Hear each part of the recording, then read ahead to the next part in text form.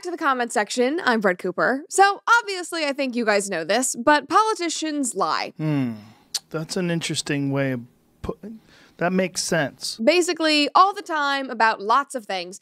And usually it is about their white collar crimes, like their insider trading, who they're taking money from, whether they are actually going to vote on the bill that you want them to, whatever. But one man came into Congress and he decided that he was going to shake things up. Obviously, I'm sure you guys have gotten this already, but today we are talking about the scorned ex Congressman, George Santos. Before we dive in, though, make sure that you like this video, subscribe to the channel if you have not already, and then ring that notification bell so that you never miss a comment section episode. So, since the New York Republican George Santos was was kicked out of Congress last year, he has garnered somewhat of a cult following. Some might even say he is an icon. Here's a taste. Can I list civil rights icons and you tell me what they mean to you? Marsha P. Johnson.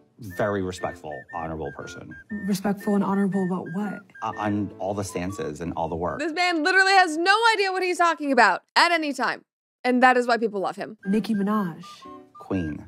You're are you a Nicki fan? Yeah. Prove it. Pull up in the monster automobile gangster with a bad bitch that came from Sri Lanka.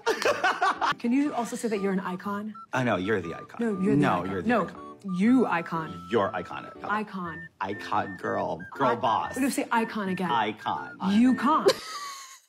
the best part of entire video. You con, and you do, George Santos. You basically conned yourself into this entire career. And he is a mess, but people love him. I love him. I can't look away. I can't. The content is so good. You guys know I love reality TV. I love that kind of stuff. This is bravo, but DC politics is the best way that I can describe it. Somebody said, How is he so out of touch and so in touch at the same time? Somebody else said, I don't care. I need George Santos to do more media, bro. This guy's hilarious. He is low key iconic, though.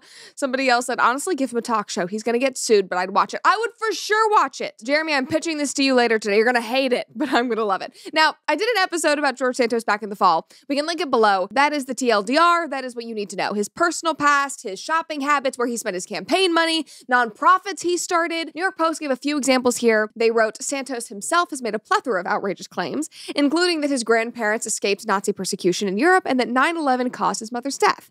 In reality, his grandparents and his mother were in Brazil during both of those tragedies, according to immigration records. He also claimed that he was Jewish and then later said, well, I'm, I'm Jewish. And he thought that that was going to fly. It didn't. Shocker. But New York Post went on and said the congressional con man, Yukon, also admitted to the Post that he invented nearly his entire resume on the campaign trail, including his claims that he graduated from Baruch College and NYU and worked for financial giants like Chase Bank and Citigroup. Now, some of George Santos's hijinks were a bit funnier, like he used campaign funds to go on a shopping spree at Sephora, but a lot of his lies were actually very serious and did cause harm to many individuals. But I think one thing that I should have acknowledged when I did that episode was that he did have a good voting record. He's a Republican, he voted on the right stuff, and when he got kicked out for being an embarrassment, he got replaced with a Dem in his district. And so I guess we kind of screwed ourselves over there because, let's face it, a lot of politicians are embarrassment and they have done far worse things, but they are still in office and nobody talks about it, but we just had to kick out George Santos, a good voting Republican, but whatever.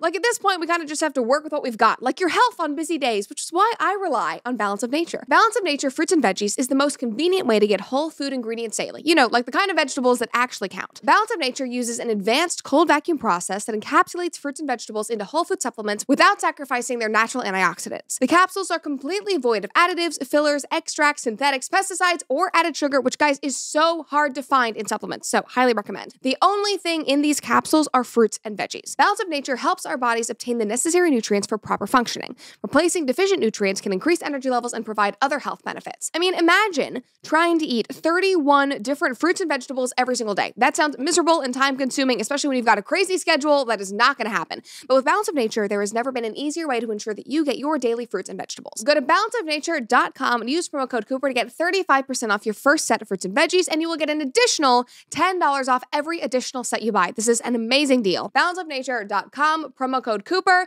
We can all manage our health together while we watch the country fall apart. But anyway, what is done is done, and it is okay because George Santos has a new amazing career on Cameo. And if you don't know what Cameo is, it is an app where you can buy personalized messages and videos from celebrities. And Santos made an account right after he got kicked out of public office, and his account immediately blew up. Just watch some examples. How are you, darling?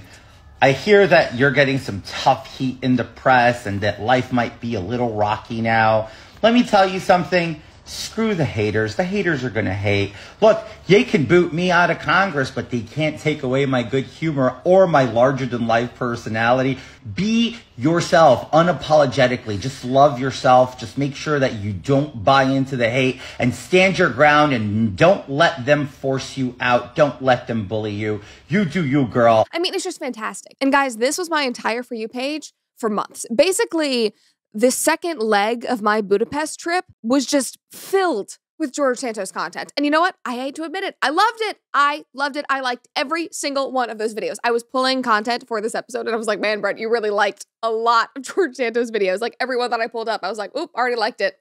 Already have it saved. Somebody commented and said, be yourself unapologetically from George Santos of all people is insane. I mean, literally, like we have no idea who he is or where he really came from because he literally lied about all of it. And yet he's telling us to go be ourselves. But whatever, go off, King. Somebody else commented and said his cameos are sold out. I'm telling y'all, this was huge, huge at the end of last year. Here's another one. And actually, the official cameo account posted this one and made it into a meme. Like, again, this was just a huge deal. Keep being that cute, sexy, popular boot bitchin' girl with great hair that all boys love to stare.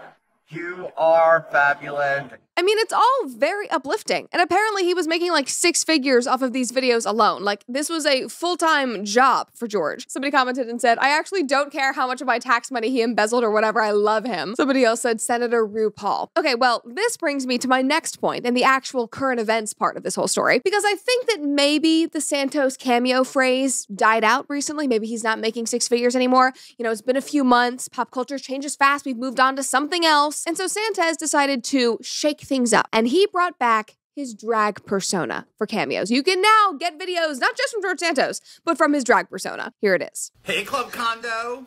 It's your favorite, Kitara. After 18 years in the closet, George Santos pulled me back out. Whatever. Anyway, I hear you're a bunch of little freaks out there and you love to dance all night long like it's nobody's business. You know what? You gotta elevate it. Gotta make it more risque. I mean, it's just fantastic. Completely unexpected, but fantastic. And, you know, this version of him, it makes sense. Now, all of this is important because when Santos was in office, he denied constantly that he had ever done drag, even when there are videos and photos of him in drag out there. Exhibit A, here's one. This is the one that went viral. Here is Kitara back in the day, I guess 18 years ago, whatever he said. I mean, when he was faced with this evidence, he denied, per usual. Like last year, beginning of last year, he tweeted and said, The most recent obsession from the media claiming that I'm a drag queen or performed as a drag queen is categorically false. The media continues to make outrageous claims about my life while I am working to deliver results. I will not be distracted nor fazed by this. Like, it is so chaotic, you cannot make any of this up. This is why it has been so entertaining. Like, the photos existed allegedly. That was him in drag, allegedly. And he sat there as it was going viral and was like, categorically false, never happened. Like, we see it, George. We see it. But anyway, he denied this for so long that obviously when he casually came back and brought Kitara out of the closet, it went viral. Somebody commented and said, Girl, what is this? Somebody's broke and needs a coin. My thoughts exactly. Thank you very much. Somebody else said, Imagine Kitara in Congress giving all of this sass.